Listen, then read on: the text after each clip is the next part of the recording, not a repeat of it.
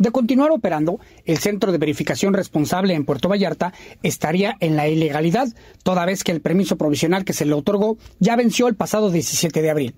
Y aunque ha solicitado una extensión del permiso, aún no cumple con los requisitos para poder otorgarle la licencia. Así lo dio a conocer Luis Enrique Hurtado Gomar, director de Padrón y Licencias permisos provisionales estarían precisamente en la, ilegalidad. Y estarían en la ilegalidad mientras no tengan un permiso provisional. Pues eh, necesitamos que tengan ellos acudan aquí, donde esa base para decir después contestarle su, su solicitud, ya le podríamos este, eh, solicitar que nos cumpla pues con ese requisito y ya en un determinado momento pues sí, ya se les podría dar ese permiso en los últimos días de, abril o en los primeros de mayo, en lo que nosotros le, respondemos y en lo que ellos hacen su labor de traer el requisito faltante. De tal manera que el funcionario municipal detalló los requisitos que aún debe el centro de verificación por cumplir para poder recibir la licencia.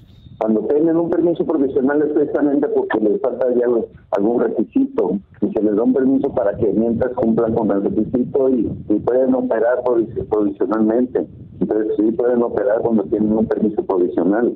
Como fue el caso que ya les que se venció el, 17 de, abril. El centro de verificación responsable en Puerto Vallarta comenzó a operar el 1 de abril con un permiso provisional debido a que no ha reunido los requisitos para poder recibir la licencia, entre los que se encuentra la aprobación de los vecinos de la colonia Parque Las Palmas, quienes han dicho que se oponen a su instalación. Desde Radio UDG en Puerto Vallarta para Canal 44, Javier Frías.